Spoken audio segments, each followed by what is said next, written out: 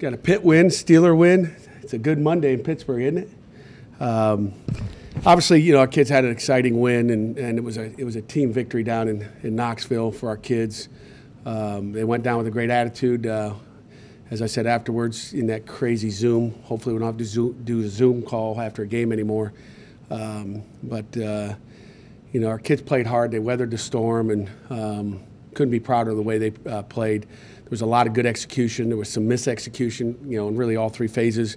Uh, the worst probably being in special teams that we got to clean up, which is, you know, I always say it's nice to have misexecution and W's at the same time, and that's what we're able to get is have some poor execution. You learn, live and learn from it, um, and then it'll be a focus this week. I'll be all over special teams, and um, we'll get that stuff fixed. And then we move on to week three.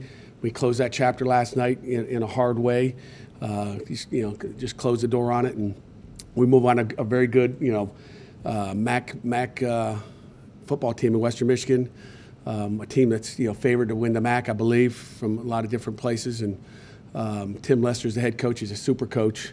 I've known Tim for a long time. Uh, former quarterback at Western, uh, really smart. I know how detailed he is. He's a guy that's an offensive guy that's really spent a lot of his time here in the offseason on defense and through the, the offseason. So I know he's really focused on what the defense is doing. And they've, you know, I think they had nine three and outs last weekend, which is, um, you know, probably you know as good as you can get on a defense on any given uh, Saturday afternoon. Um, and uh, you know, there's you know a lot of familiarity with their staff. You know, it's a Midwest staff, so. Uh, one of their co-offense coordinators, a guy named Mike Bath, who was a quarterback for us at Miami Ohio back in the Ben Roethlisberger days. So he's smart, um, detailed, uh, again, really well coached on offense. Um, and uh, on special teams, uh, Joe Palcic is my old linebacker coach, excuse me, old safeties coach, DB coach at uh, at Miami Ohio when I was there back in 2003. He's a special teams coordinator and does an excellent da- uh, job. His dad was an old time uh, NFL coach for a long, long time. So uh, Joe is there. It'll be good to see him Saturday afternoon. And then Lou Esposito is their defense coordinator. Uh, who's been you know been doing it for a long time and is a great friend of uh, Coach Lester. So they're working together on defense. So it'll be a challenge. You know, it's not going to be easy. Um, you know, uh, our kids will be ready to go. We'll have a great week of practice. We'll have a better week this week than we had last week, and we'll just continue to do that throughout the season. So, questions? Have you ever played a team where you didn't know somebody on the other staff? Um, you know, um, Jerry, you always got the good questions. There's yeah, there's been times. Um, you know, again, I really don't know Josh Heupel. I know him because we played him, but I don't know him. Uh, he's not a guy that you you know have worked with side by side and all that. So you know, or, or coached. So you know, Western's got a little bit different flavor that way. Now you mentioned the Tennessee one being a big one. How do you make sure these guys stay focused? And I guess where does that senior leadership come in? Um, you know, it, it, starts with me. I got to make sure they're locked in, and uh, it'll be a hard week's practice. That's for sure. Um, and you know the leadership will help. I mean, Kenny Pickett's, you know, uh, captain number one, so it'll start with him and, and how he practices, and guys will guys will follow those those seniors. So uh, the way they flow, and the way they go, and the way they, they approach this game. Are they watching more tape than they watched last week? I mean, all those things was is stuff that will, you know, will be all over, and um, I don't see that as a problem. I think we have a mature football team. Um, you know, we will not overlook anybody. You know, when you put the tape on, they're well coached. They're tough. They're physical, uh, and they play hard. Um, you know, you don't get nine three and outs on defense, and um, you know they got some they got some good players. They got some players that are familiar with what we are. I mean, Skyy Moore, Pittsburgh guy that's uh, you know didn't play last week, played against Michigan, got banged up a little bit. I think they saved him for for Pitt to come back home. Um, he's explosive, and then on defense you got you know Therran Coleman, a Pitt graduate, coming into Heinz Field, and uh, and Bricen Garner, another Pitt graduate, both graduate transfers that uh, I think Therran was hurt last year. Bricen played um, in a short season for the, for the MAC. I think they played four or five games, um, but they're both back healthy and, and uh, ready for that COVID sixth year. So we'll be ready to roll. Pat, you guys are putting up a ton of points right now, second most in the ACC. You guys still haven't, I think, found a consistent run game. How have you felt about you know, what you saw how they finished last week compared to you know, how they were building. Yeah. What are you looking to see this week? Well, consistent run game is based on how you define it. You know, um, I define a consistent run game as with four minutes going in the game, and we had to run it, and we're not going to put the ball in the air and throw incomplete passes and stop the clock. When they got one timeout left, we ran the ball. So, I mean, if we really wanted to come out and just, you know, start off on a P and 10 after, you know, we fair catch the ball to the 25 yard line and just run it, Um, you know, I feel like we could, but we're trying to mix it up and be balanced. And I I think right now we are, we have some balance to our offense. Um, but you also got a quarterback that you know can throw it. Um, you got some talented receivers, and we got to spread the ball around. We got you know, we showed two tailbacks last week. You know, I hope uh, Rodney Hammond gets a chance this weekend as well. Um, but uh, you know, I think the slower start didn't give him a chance to get in there uh, in the first quarter, and we were just playing catch up as opposed to playing in, in front. So, um, you know, I feel like we can run the ball when we need to. Um, and again, we got to do a better job executing some of the things up front. And, you know, they threw. I mean, we saw more man coverage than we thought we'd see. They threw more blitzes that we thought might happen, but you can't prepare for which ones and, and when. Um, and I know Coach Whip felt like, you know, um, you know, as many, many points you scored against an SEC team, he felt like, man, it was just one play off, like, you know, you know just switching the plays up, which sometimes happens as a play caller, offensively or defensively. I mean, it's all when you call those plays. And the great thing, we scored enough points to win, and Coach Whip's, you know, not not very happy because he feels like he could have called an even better game. So, um, you know, you just got to sometimes be lucky uh, with some of your play calls and what are they doing. But that goes with the, the games that you have on tape and knowing you know, you sit there and look at Penn State tape and you're thinking they're going to do some of that stuff, and then they got more stuff and uh, different shows. So, um, you know, they ran some blitzes into some of our runs that we got to be able to pick up or, or get the ball out. I'm not saying you're through fourth down calls on Saturday were gambles, but a mature team and fifth-year quarterback, do you feel more comfortable going for it in situations like that? Yeah, I mean, it goes down to your, you know, how do you feel in, in your run game, uh, which I feel more comfortable. Um, and, uh, you know, we just got to look at the look at the numbers there and find out you know what we like. And you know, we're not going to go for it on every fourth and one or fourth and two or three or four or five. But if we're you know if we feel good about our play you know plays that we have available you know in your back pocket and um, you know tell you what it's it's uh, it's a problem as a defense when someone gets four down instead of three to get a first down. It's a lot easier. Uh, to get a first down when you use all four of your you know your downs to, to, to get that first down. So uh, again, one of those reasons is Kenny Pickett you know the trust we have in him, but it's also those receivers we have trust in that when you throw the ball, they're catching it very well right now, and, uh, and having you know a back and an offensive line that can that can push the pile. So. You mentioned that there Bricen. Is it kind of nice to be so familiar with Yeah, I mean we went back and pulled a bunch of their one-on-one tapes, which is easy with you know XOS to pull out all their one-on-ones and watch how they they play, and obviously they've gotten better in two years.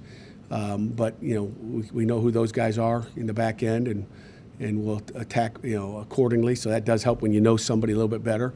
Um, but they're they're both good football players. I mean, they were ACC football players, played a lot of downs here, and, and two unbelievable kids. I can't wait to see after the game.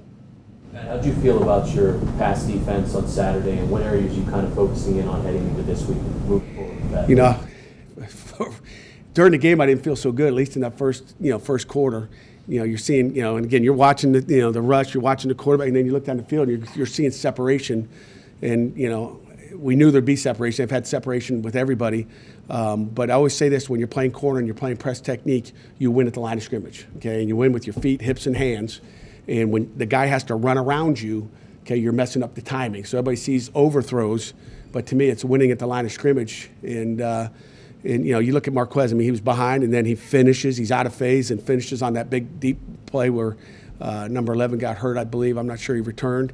Um, and uh, I mean, he, he just finished and, and, played great football, and that's a that's a heck of a play. But um, you know, I told you that the stresses they put on you when they spread you out there. There's not much else you can do. You're, I mean I mean, whether you play cover three or cover one, you're going to be, you know, all you'd be doing is wasting a safety in the middle of the field based on what they do because they're throwing the ball out there. You play cover two, they'll run the ball down your throat. So uh, it's kind of pick your poison. Um, and, you know, we, we, sh- we should have, could have done a better job. Really, the quarterback draw is the one that got us. But, I mean, the pass setting, you know, you're worried about getting hands on those fast receivers down the field. But I thought, you know, you know, all in all, the kids did a nice job. You know, I'm mad about, you know, that quick you know, we call it a now route where they throw it out there and the guy comes down the sideline. A.J. Woods didn't do a good job turning it back. Safety was in position, but it got outside the corner. Corner's got to send it back in. So those are some of the things. I mean, those 50 50 balls usually are about 20%, but you have to win at the line of scrimmage and you mess up the timing. And that's what you saw is, is, is messed up timing. You mentioned that bubble screen touchdown. In terms of the tackling as a whole on, on the game, how would you thought it was average at times. I mean, you know, uh, I think our linebackers had quite a few missed tackles, but again, give them credit. You know, it's not like you're, you're playing against, uh, you know, the children of the poor. I mean, it's uh, it's a good football team that got skill, and uh, and they're going to make you miss. But um, but our guys didn't. Our guys, you know, kind of broke down too much more than we want. They need to go take shots, and that was kind of one of our keys to victories, is to go take shots at these guys. Don't give them time to, to, to make you miss. And we didn't do a good job there. And we got to practice better at that this week. So that'll be a focus this week of uh, when we go thud and we don't go live. Uh, actually, tomorrow we'll probably go a little live, um, you know, a period or two. But uh, you know, we we got to tackle better. We got to take better angles. Uh, and we got to get our feet in the ground. What was it like having Hendon Hooker come into the game, a player that Pitt's had experience going against in the past? Yeah, you know, you didn't think you were going to see Hooker, you know, uh, when Milton went down. Um, and I hope he's healthy. Um, you know, here comes Hooker out there, you know, from seven to five, and, and they both look really good on the hoof too. I'm like, you know, I thought maybe they changed numbers because they both are good-looking kids. And I saw Hooker after the game, great kid. Um, but you know, we knew he was a good football player. I mean, he's you know he started in the ACC for a long time. He's won a lot of football games at Virginia Tech. So uh, it was interesting. You know, we had to kind of go back and look at some of our notes because you didn't really even prepare for him. You, you, knew Joe Milton was the guy, and um, you know, so we had to kind of go back to what does he do well. And we didn't do a good job on some of the bubbles, which you know, some of the quick game, which is kind of what he does well. And, uh, and then they hit us with a couple of tight end verticals versus some zone pressures, which uh, was a weakness for us. How do you know about Damarri? Uh, I know that you guys, they talk about, you know, needing to trust your guys out in those jam situations. They went after him, let's say, a fair amount of times, and it seemed he called his own. Yeah, Damarri's a good football player, and, you know, even the one, you know, PI he had on a post route, I mean, he's right there. I mean, he's got his hand near him, but there's no restriction at all, and he's on top of the guy. He's not like he's running behind the guy. He was on top of the post, and you know, I wish he'd have got his hand off the tail and, and got a pick. I mean, he had a chance if he puts two hands up there to get an interception. So, um, what are you going to do? what are your impressions of starting? For a couple games. Sam, Sam's, Sam's been unbelievable. I mean, you go into that atmosphere and kick field goals. You got, you know, you got, uh, you know, faith that he can do it anywhere now. I mean, you know, you wonder how he's going to react. I mean, uh, you know, I think some guys looked at the atmosphere and didn't, you know, play like they needed to play in that atmosphere when the lights turned on. You know, Sam is the guy that went out there and uh, and did his job. So we, I was I was happy for him. That was a that was a bright point in the special teams. When those uh, Tennessee receivers were getting the separation, were they winning at the line of scrimmage over your, your DBs? Did we just talk about that? If the ball's overthrown and they didn't, and if you watch the tape closely, and again on the field, I was like, oh my God, we can't cover these guys. But when you watch on the field, we got them almost all the way down the field, and then right at the end, it's a little push by them, and all of a sudden there's a separation. If you watch it close, we're on them, and then there's separation. Um, and again, the one that that uh, Mark Quez Williams made a stop on was kind of a different coverage. It's almost like a cover three. He was trying to split number one and two receivers, and number two is the guy that got down the middle. He's got to lean a little bit more. So that one was a zone coverage as opposed to a man coverage. Um, but most of those, you know, we're on them, and then at the last second, there's some separations, some push offs, and and uh, we don't seem to do much with that. But you know, sometimes happen. But again, being physical at the line and trying to you know reroute that guy, and making him run outside of his his comfort and get him off the red line is important. Were you playing lot of zone? Playing more zone this year than you have in the past? You tell me, Gary. You got the tape. You got the TV game. You DVR'd it. We're playing a little zone. We play a little man. We play a little bit of both. I mean, so we do a little bit of both. But you know, against them, I'd say we probably played 70% man. You had to um, because you're out there on an island. I mean, anytime they're way out there standing on the sideline, you know, what are you gonna, you know, you're gonna play cover three, and you got a corner out there in his third. There's two guys in his third. And that, if the free safety, you know, the middle field player, can he lean over that way? Well, then they got you over there on a post. So you're just covering grass if you're in some type of zone coverage. A couple of slow starts on offense to start the year, but once you guys really get it going, it seems like you're really in a rhythm. How do you guys want to avoid a slow start this weekend? How do you anticipate doing that? We'd like to start fast, and again, I attribute a little bit of that to you know uh, our kickoff return team, you know, not allowing us to. I mean, there's some of those balls that should not have been fair. You know, they should have been you know touched outside there on the numbers where we caught them. So. Um, you know, it's it's tough in that crowd. All we did was move our offense a little bit further right into that student section where they could scream and yell. And now, again, there was just the you know the nerves. You know, the, the great thing about the offense is I think we had one false start, uh, you know, one unforced error. So you talk about dealing with the crowd noise. You know, I've been in a lot louder places than that place for sure, um, and uh, you know, it wasn't an issue at all. Matter of fact, I think they had more issues than we did. The kick return, is that a judgment call for Jalen, beforehand, like, hey, return this? Yeah, there's you know we give him parameters, and you know we won't get into that. But again, it's a, the young kid that's never dealt with the crowd. I mean, he's you know he's a freshman that you know has never been in that atmosphere ever again. So we got a lot of faith in him, and uh, he'll learn from it, and we'll get better. And and again, you know, to me, you put that you know, as a judgment call, and he's got he's got to know when and where. But you know, it's just like telling a punt returner not to catch the ball inside the ten yard line or eight yard line, and how many times do you see it happen? Um, it's just you know you get in that game and, and and and things happen. So he'll he'll figure that out. And again, I put it on coaching as well. I mean, you know, anytime you know you talk about that, whether it's a, you know a good or a bad. I mean, there's coaching involved, and we just got to do a better job coaching him and, and all of our guys in some of those situations that we ran into. So. See how success early on with little like rub routes and stuff like that. How do you Rub pick routes, you mean? Yeah. How, how do you how do you manage to work around that as a defensive coach? Yeah, well, uh, you know, hopefully, hopefully they get looked at on, you know, on the field, and and, um, and you know, pick, picking is illegal. So we saw some of those, um, and you know, we have different calls to take care of that if we want to. Uh, you know, it's most of the time it was a five-yard route uh, that they were trying to pick us on. I mean, I mean, you know, sticking their arms out trying to you know purposely pick you is, is illegal. So we just, I guess, we got to do a better job working through those. Do you think your guys, your kick or return guys called too many fair catches? No, It just seemed to me there was one I remember, I said to myself, well, he had a lot of room to run, you know, if- if he had just taken it and run. Yeah. Again, it all depends on where your return's going, Jerry. You know, their kicker did a heck of a job putting it, you know, way outside. Okay, and the problem is when you kick it way outside. Let's just say they put the ball in the numbers. When you look at where they're going, they're putting the ball in the numbers. They're they're going to squeeze their coverage all the way down inside the hash. So you got ten guys covering, you know, a kickoff inside the, you know, outside the hash. Okay, there's not much space there. And then now you're running sideways to get it to the field, and then you got issues. So it all depends on where your return's going. Um, you know, if we wanted to try to, you know, smack something up through the boundary, you know, you're fighting an uphill battle. And, you know, uh, Kenny, Coach Whipple, you know, that fair catch 25 yard line is a, is a, it's a nice place to start. And I think everybody saw that on Saturday. It's not, it's not fun to start the 14 yard line. Feel about the discipline of your offensive line? Uh, Coach Borg said, uh, week one, he's like, we didn't have any penalties, we like that. And now, like you said, on the, on the road, loud, hostile environment, procedure minutes weren't as much of a problem for you guys. Uh, what have you seen from them just in different short? you know, Coach Borbely does a great job. It's a discipline. They're locked in all the time. I mean, I really like our offensive line. So, um, you know, they're paying attention to the details. And again, we can get a lot better blocking and picking up some different stuff. Um, you know, some of the blitzes, you know, some of the blitzes you see, I mean, you know, looking at it from a defensive standpoint, you know, you're seeing safeties come up the field and blitz off the edge, and you're looking at, you know, you know, you, if, if that's the center and you got a tackle out here, you know, what's he keying? In a normal situation, he's, you know, not looking at the ball, but in a silence cadence, you got, we're keying the ball. You know, and you can't be out here looking at the safety and then the ball moves and you, you know, you, you know, you're stuck. You're, now you're really late.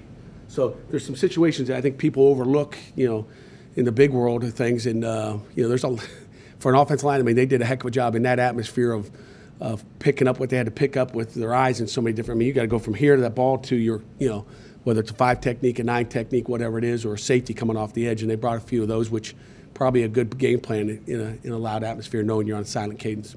How did uh, Izzy and Vince out? Uh, I don't give their grades, but I mean, I think they both had winning performances. I mean, they both played well. I mean, they ran the ball hard, they protected well, they flipped some guys upside down. Uh, you know, I think Kenny got sacked once, and if he doesn't slip, it would have been one sack on the day. I think one was a two-yard sack. So um, they protected well, and and uh, and when they had the opportunity, you know, they ran the ball well. They had the right reads. Again, sometimes there were some safeties coming off the edge, and and you know, but that's part of the game of football. Your offensive lineman make the requisite improvement from week one to week two? Yeah, um, you know, I think we did, you know, overall offensively and defensively. Um, but you know, you got to consider the opponent. I mean, if we'd have played, you know, UMass twice, you'd probably see a little bit more improvement. Um, but you didn't. You played, you know, UMass, and then you went to an SEC program. You know, very talented guys. I'm just telling you, there's, you know, there, there's some talent on that football team. Uh, there was a lot of NFL scouts there watching. You know, obviously our guys and their guys. So um, they're, they're, you know, I wouldn't be shocked if they had, you know, five or six guys get drafted off that football team. What was it like when uh, you guys come off the field and you see that many Pitt fans in, in the section and saw you know, boobies with you guys like, you know, bring the flag down? That had to be a cool moment just for you guys on the road, that Yeah. far away from home. Yeah, we appreciate appreciate you uh, asking that question, Chris.